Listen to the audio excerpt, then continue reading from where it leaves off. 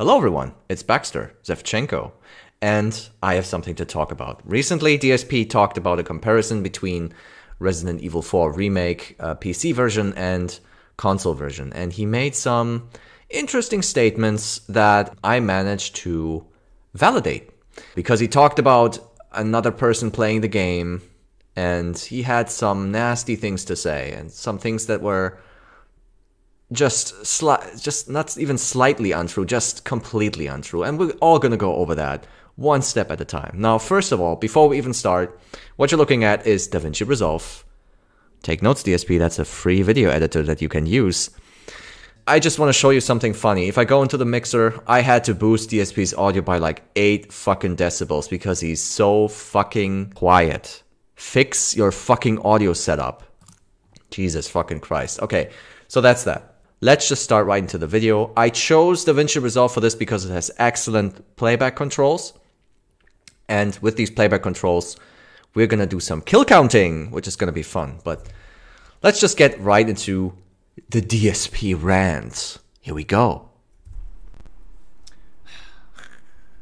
Last night, okay, my wife and I said, oh, we want to watch someone else watch, play Resident Evil 4. I'm, I'm 10 hours in. Today I'm going to be 13 hours in. Let's watch someone else play Resident Evil 4. So we started watching someone playing Resident Evil 4 Remake on PC, hardcore mode. And I was like, oh, this is great. I'd actually love to watch this because I want to see could they do better or worse than me. Remember, that early village portion kicked my ass. It's so weird that he that he it's like you don't watch videos because you you don't watch video because you want to be entertained. DSP watches videos because he wants to compare himself to other people. I just can't. I just can't. It was very difficult on hardcore, especially not remembering where you could go, like hiding in the house and stuff like that. And I'm like, I wonder how someone else is going to do um, playing it on hardcore on PC. I want to see PC. First of all, is there any difference between PC and console? I'm curious about that. Evidently. And how are they going to do? All right. Are you ready for this? I'm about to tell you a story. You're going to love this one. I love stories. Okay. Let's fucking go. Just listen to this. So they arrive at the village. Okay. There's just like I did when I first arrived at the village. They're sneaking around. They do a couple stealth kills, and they alert the village. Oh shit, they're on the run. Oops, they got cornered dead. Fine, that's what happens to everyone the first time, right? All right, so I'm not going to show you the footage of this because I've tried to keep the footage that we're going to watch to a minimum because it's quite long and we're going to go over it.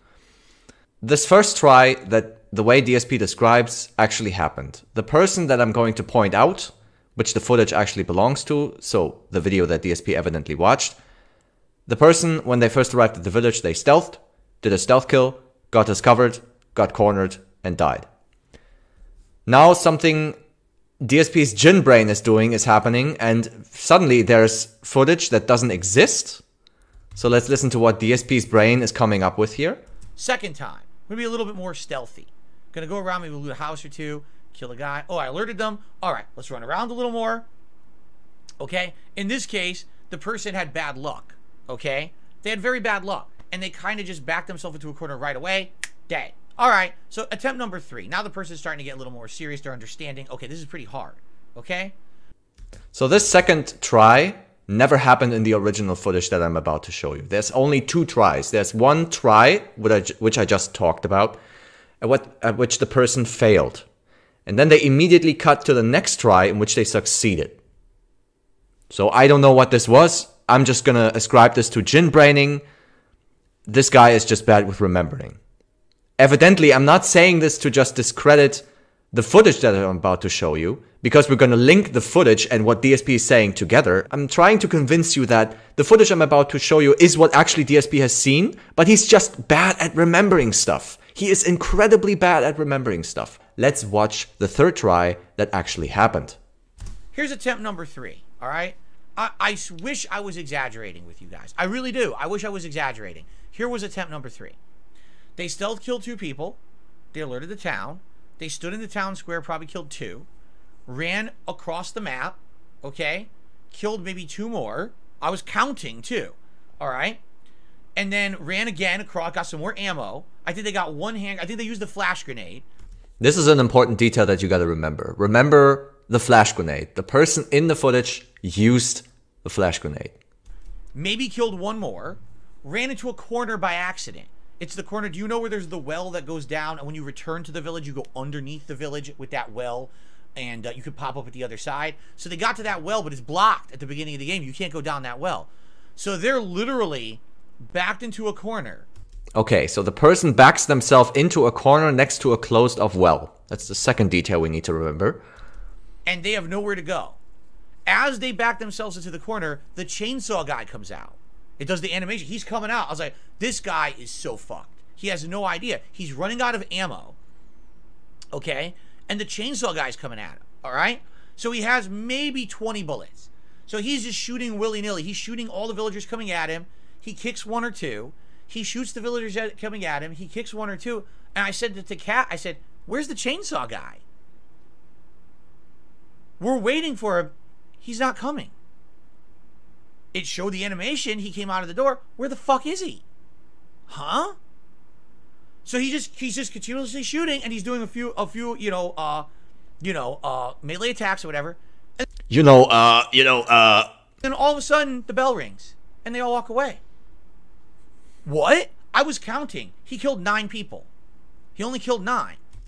Okay, so according to DSP's witness report, the person in the footage actually only killed 9 people. We're gonna validate that. Okay? The chainsaw guy never got to him, never even showed up. Okay? And he didn't survive five minutes. There was no fucking way. It was impossible. I was like, what? So, another detail the person didn't survive five minutes. Yes, we're gonna get to that and explain that as well. What just happened? And I'm just staring and my jaw dropped. I was like, that's not what happened with my experience at all. It was so funny. Just listen to this. He hadn't looted most of the town. It took him five to ten minutes to loot the rest of the town because he hadn't even got. He didn't even go into the building where you you push the thing in front to stop them from coming in, and it kills time. He never even went in there.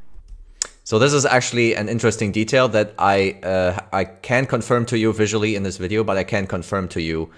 Uh, I watched the original footage of that video. The fight ended at around the uh, yeah, it took, yeah, the fight ended at around uh, 30 seconds after 30 minutes. So 30 30. And the person exited the village around 8 minutes and 30 seconds later. So, yes, between 5 and 10 minutes to loot everything. All right. He's looting, he's taking forever. You know what he says? Oh, maybe that chainsaw guy went and rang the bell because the chainsaw guy never came after him. He actually thought it was the chainsaw guy who went and rang the bell to get the villagers to leave.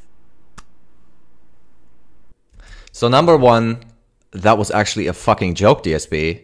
This is funny coming from the guy who doesn't understand sarcasm on YouTube videos in current year. If you watch his DSP reacts, the jokes are fucking flying airplanes over his fucking head. It's amazing. There's a fucking airline established over his head just flying jokes above it because they knew, oh man, this is so fucking cheap, we can do this all day. Because this guy will never understand it. Okay, I, I, I took this joke too far. But the second thing was he said, the guy made a joke about the chainsaw man ringing a bell. Now, what do you think happened in a specific person's footage of Resident Evil Remake, Resident Evil 4 Remake, to be precise? Well, let's listen to it. So that guy that came in with the chainsaw, did he just... Like, did he go and ring the bell? Is that his deal? There it is. What you just watched was the 39 minute mark of Christopher Odd's Resident Evil 4 Remake playthrough episode 1. So yes, ladies and gentlemen, this pretty much confirms it, at least for me, you don't have to trust me on this.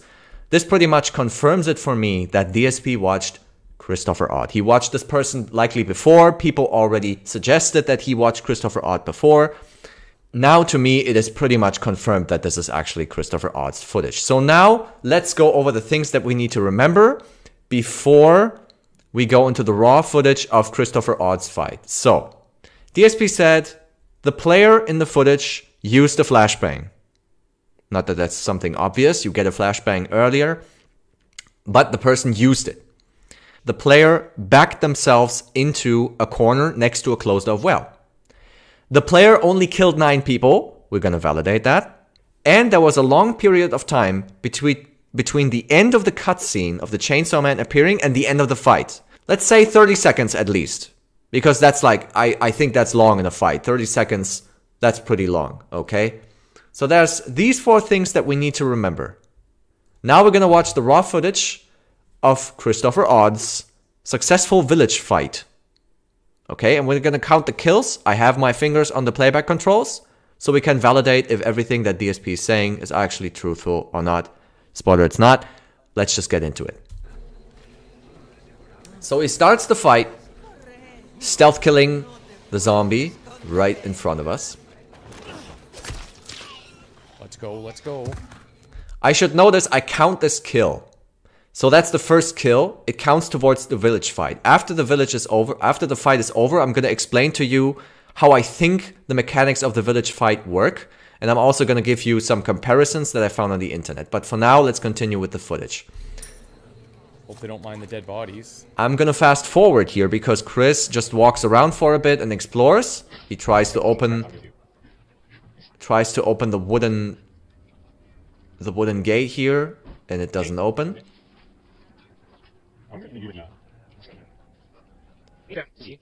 He fidgets around with his controls. You can see it's PC.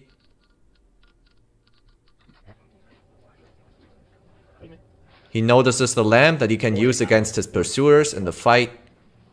And this is the point at when he gets discovered. Now, in my footage, I don't know you can actually see this. You can trust me. I made a red marker here. And it says 9 minutes 46 seconds. 9 minutes 46 seconds, the official fight starts. Because he gets discovered. So let's see what happens here. Remember, we have one kill. Let's see how Chris fares. Well,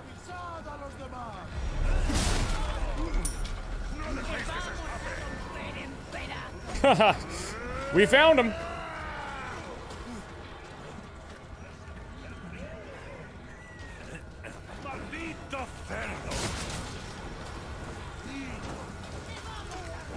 So he gets hit here, God, oh my god. breaks free from a hold, heals.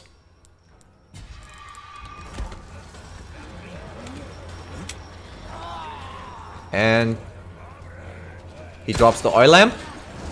Oh! From the footage that shouldn't be so clear, so I'm gonna rewind to see how many kills there were. Oh! There's one zombie up in flames. And at half speed you can see that the other oh! one gets run down by the bull. So that's two kills, meaning we have three kills total. I mean, that mostly worked. He runs into this house, shoots a zombie, doesn't kill them, Nope, I don't want to be here. Breaks Oh, the God, barrel. I don't want to be here either. grabs the hand grenade, Or do jumps out of the window. Hello, Flashbang. You remember this little friend? Because he's gonna get used. Totally intentional, yeah. Yeah, he did it on accident. And hello, corner with the closed off well. Here we are, and Chris is gonna make his last stand here. So let's continue. Remember, at this point, we're at. at three kills. Shoots the zombie, doesn't kill him, chucks a hand grenade. Evidently, he killed some zombies here. Right now, we can't see that. I'm just gonna forward, go forward with the footage. We're gonna count the item drops. That's the most reliable method of counting the kills. We're gonna see the little streaks of light over the dead bodies. Every streak of light is a kill. I'm gonna continue. Still at three kills. He kicks this guy. I'm gonna go backwards a bit, I think. Nope. That's actually wrong. I'm gonna go forward. As you can see, there's two streaks of light. That's two times pesetas. That's two kills. I'm gonna go forward a bit because the guy he just kicked dies too. That's gunpowder. Six kills. Now he's going to shoot the guy that he has his reticle on right here. Two times. And this guy is dead. He died. We're not gonna see it until a bit later in the footage, so I'm not gonna count the kill just yet. But he drops pistol ammo. I'll get back to you on that. So six kills for now. But let's just continue. This is the problem, guys. Last mag, he only has 10 more shots. DSP said the guy was running low on ammo. He said 20 shots, but he actually only had 10 left. Kicks another guy. That guy is also dead, I think. Yeah, he's dead, as you can see. That's 7 kills, another gunpowder there, right on the gun icon. He kicks a whole group of people. I'm gonna go forward slowly. No, I'm gonna go backwards. I'm sorry. As you can see, they're on the left. Next to the leftmost villager holding the shovel. There is a red streak of light. That was the guy I was talking about earlier who dropped pistol ammo. So that's 8 kills. Now we're going forward slowly. He kicks a whole group of people. You can see there's only one drop there. And right now, three more appeared. So that's 11 kills total. Remember, DSP said this guy only killed 9 people. We're already at 11. A guy on the ground is writhing. Okay, he stabs him. That's 12 kills. And in comes know if I can the him. chainsaw man.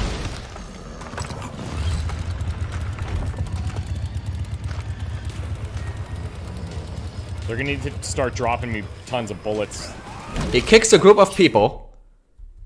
And if we go by slowly, you can see that he kicked like three people total and staggered off a lot of them on the left. One guy is writhing on the ground, and I think two people died. So we're at 14 kills right now.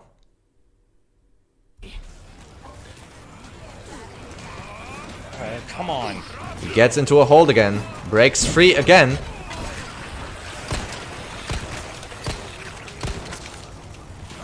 Does another kick. The bell rings, ladies and gentlemen. The fight is over because he has more than 15 kills.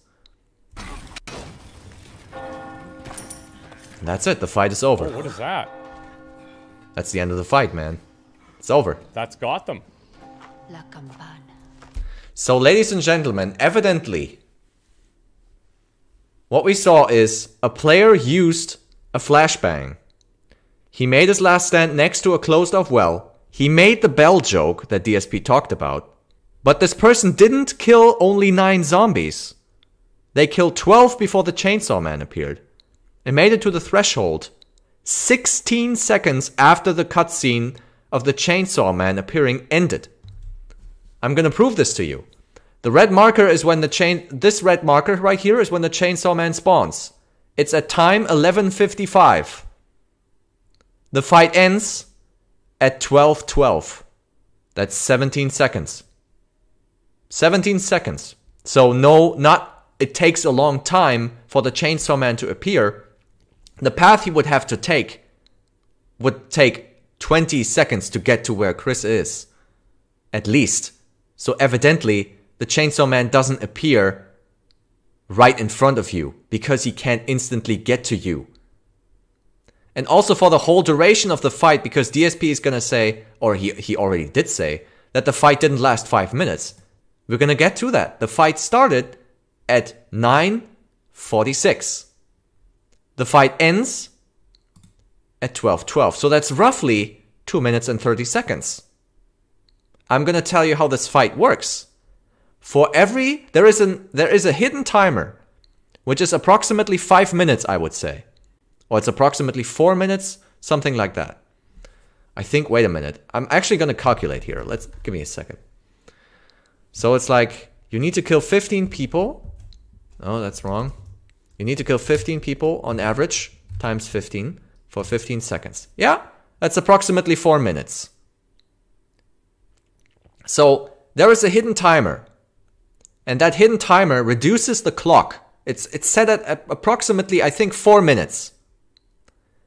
For every kill that you make, that clock gets reduced by 15 seconds. You kill 15 people, the fight ends. So evidently, if you're faster enough if you faster enough, if you're fast enough, you can end this fight even before the chainsaw man spawns. Yes, that is possible. How do I know this? Well, would you look at that? Please sue me, Games Radar, or whatever the fuck. But they actually did a little testing.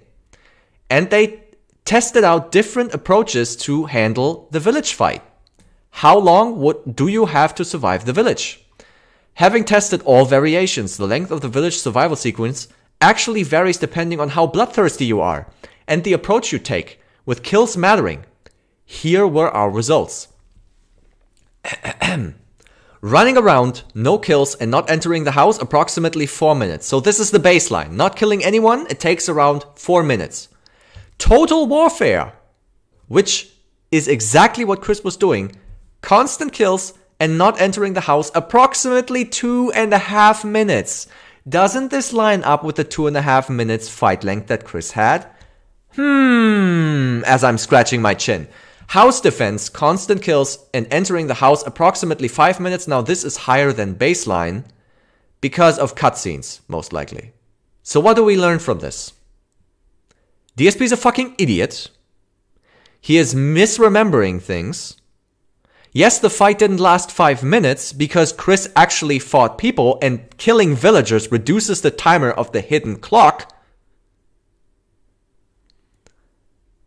He also didn't just kill 9 people, he killed fucking 12 before the chainsaw man appeared and 15 to end the fight, 16 or 17 seconds after the cutscene of the guy spawning in.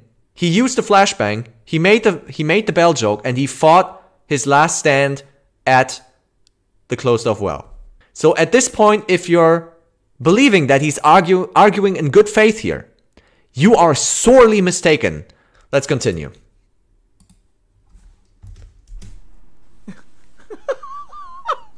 I was like, what? Now I'm not even done yet. He, by the way, it's confirmed he was playing on hardcore because as he saved his game, you could see it said hardcore. This is actually true. Chris said so at the beginning of his video. After the opening cutscene ended, he said this is PC, max settings, hardcore, and you can also see it on the save game. Okay? Listen to this. He gets, now this is still chapter one. He gets to the next part of town, okay? Every fucking enemy he's killing either dropped handgun ammo or a green herb. I'm not kidding. You know how when you play normally, they're all dropping the pesetas or whatever? Pesetas. You pronounce it pesetas. No one was dropping pesetas. Pesetas. I fucking hate that shit. He even pronounces Callisto wrong. He pronounces it Callisto. It's Callisto. I as in kit. They were all dropping critical resources. So he clears the next area, and if you remember, you, there's the next areas like the farmhouse and stuff like that. Okay, so let's get back to what he actually said during that clip. Now, I'm not gonna bother you with the entire footage, but I watched that footage. It's the first 20 minutes of the second episode of Resident Evil 4 Remake by Christopher Odd. And in that footage, until the end of chapter 1, he killed approximately 23 zombies. Now I counted, you just have to trust me on this. Seven out of those 23 people dropped handgun ammo. Two dropped 10 bullets, five dropped five bullets. And a whooping, ginormous, gigantic amount of zero out of 23 zombies dropped health items. They mostly drop pesetas or gunpowder. So he's lying. Again, bad faith. Let's continue to the next clip. Because it gets even more ridiculous. You know it just gets worse and worse and worse. And once you get past that, and you get to where you save Lewis, that's where chapter one ends, okay? He finishes chapter one. It starts chapter two. He looks at his inventory. Listen to this. He looks at his fucking inventory at the beginning of chapter two. In the beginning of chapter 2, once you grab a hold of Leon's controls again, after the cutscene ends, you have no inventory. Your inventory is fucking empty. Why? Because your inventory gets stolen. You have to recover it. He has 71 bullets, about 11 shotgun shells, We need to remember these numbers 71 bullets, about 11 shotgun shells, three green herbs, two red herbs, a yellow herb, a yellow herb, two red herbs, three green herbs. and he had already used a full heal with another yellow herb attached to it in the first part, Besides the point, still had durability in his knife. and he still had durability in his knife. This is hardcore. I said, what the fuck game is he playing? And again, it wasn't like he was absolutely perfect with his shots. He was missing shots. He was, you know what I mean? so I'm watching the play. I'm like, this is like nothing like what I just did on PS5. Evidently. But the thing is, I'm pretty sure while DSP watches footage of other people playing games he already played, he is not paying complete and or full attention. Because the only time that the description that he just set with the numbers, they're not exact by the way, matches anything is after chapter 2 Abandoned Factory where you first encounter the merchant. DSP actually looked at this man's inventory after he already had traded with the merchant, and I'm gonna tell you why. This is the screenshot of Chris's inventory after the situation I just described. DSP said 71 handgun bullets. So we count 11, 24, 74. I say close enough. Alright? He says about 11 shotgun shells. 5 plus 7. He says about 11. Actual value is 12. Close enough. He says 3 green herbs. I count 1, 2. I count 2. Maybe he thought maybe he thought the first aid was another green herb. I don't know. He might have misremembered. He said 2 red herbs. Yes, this is correct. 2 red herbs and a yellow herb. Yes, also correct. Why? Because Chris traded in the three spinels you get from shooting the three blue, uh, the, the five blue medallions on the farm. He traded them in for the yellow herb. And and DSP also said that this guy still had durability on his knife. Yes, DSP, because he repaired it. He paid pesetas to repair it. So this is just incredibly bad faith at this point, alright? Chris played well. He really played well. So let's get back to the final clip and then end this mess because frankly I'm getting pissed off at this point. But get this. At one point, he had seen a bear trap and he was poking the bear trap with a knife and then a guy jumped out. He ran up and the guy had not the enemy had not attacked him and he had not attacked the enemy yet. He took the knife, he went like this, boop, boop, boop, and the enemy died. So the situation, how he describes it, didn't happen the way in Chris's footage. In Chris's footage, I'm gonna show you the raw clip. Here it is. And we're gonna watch it first and then we're gonna analyze it. Think I can make it to him before he turns around? Definitely not.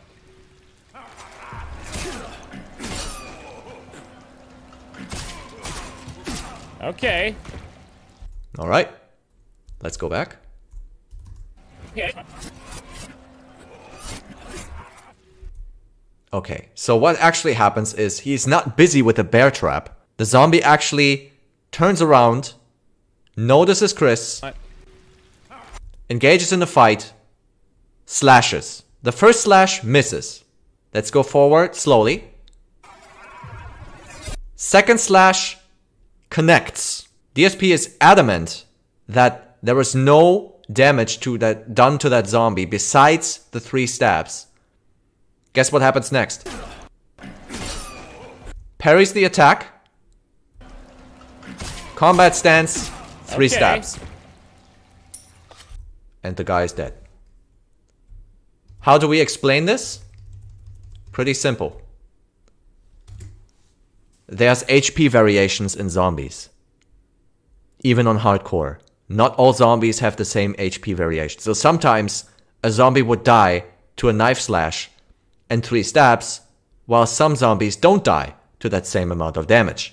And DSP argued in bad faith And in that argument, we're gonna go back to it. I'm pretty sure he said that no other damage was done. He ran up, and the guy had not, the enemy had not attacked him, and he had not attacked the enemy yet. He took the knife, he went like this, boop, boop, boop, and the enemy died. He specifically said that there was no other damage besides the three stabs. Wrong. Three jabs with the knife, the enemy died on hardcore mode. And I was like, what the fuck? I, I, I, uh, what is going on? So I don't know if the version he's playing is fucked up. I don't know if just every PC version is fucked up. And here we come in with the blame game. Of course, another person evidently is having an easier time playing the same game that DSP is playing. What does that mean for DSP's ego? It's bruised, it's offended, it's hurt. How do we compensate? We lash out. But not at the other person playing the game, but at the game developers. That's correctly. We blame the game, ladies and gentlemen. That's what's happening. But I was just like, I don't even like. I'm watching with my wife. I'm like, I don't even know if we should watch the rest of this playthrough. Yeah, but the way he argues is incredibly bad faith because evidently he is either misremembering unintentionally, that's very probable, or he's doing this intentionally, which is actually the worst thing to do. Because if the whole thing is going to be like that, like, what's the point? This is like literally no challenge. Every everyone he shoots, they die within a few bullet hits. Right? Almost no big deal. I was like, what the fuck is going? And everyone's dropping tons of resources. Wrong. Every enemy is like dropping ammo and shit for him. Uh, Wrong. What's happening here? I never seen nothing like that in my life. Never. I couldn't believe what I was seeing. And again, it It's likely that you never paid attention enough to actually notice the kill numbers or the fine details of what was happening. Because we established who the footage belonged to, we compared the footage right now, and evidently some things didn't happen the way you recall them. So you're a terrible witness and an unreliable narrator. Evidently, and that's why so many people think that DSP is lying intentionally because he's doing this all the time. It may just be his memory being fucked and there's tons of instances where I can tell you that this guy's memory is so beyond fucked. His capacity to remember things is so easily influenced, considering that this playthrough came out on the 27th or the 28th, and DSP watched it on the evening of the 28th. And this podcast, this rant, was on the 29th. So his memory is so bad recalling things even 24 hours before. Less, 12 hours before. Like, it's evident that either your memory is shot or you're doing something to your brain that's hindering from remembering things, or you're doing it intentionally. So let's finish this. It's definitely PC. You can see the prompts for PC. You press spacebar, press F, and it says when he's saving it, says hardcore mode. So I don't know what the fuck's going on. But I'm and by the way, this wasn't even someone who like they're playing an early copy. This is they just started playing recently in the last couple of days. I've been playing since Friday, but they just started playing it. So I have no idea. And see what I'm saying? PC version in this case is dramatically different from the mainstream experience that most people are having with the game. Why? What the fuck happened? And this, ladies and gentlemen, is what pisses me off so much because he's being disingenuous about a personal experience that pissed him off and ascribing it to an entire game version. An entire version of a game must be at fault because he had a different experience, a more grueling experience with a game instead of just ascribing this grueling experience to him being, for lack of a better term, fucking dumb and just doing the thing that the game wants him to do. That's it, I'm done. I'm gonna get, I feel like if I watch more of this guy, I'm gonna get angry. I wish you all a great weekend. Ladies and gentlemen, this is Baxter Zevchenko. Thank you for watching. Thank you for listening. I'm tuning out. See you all later.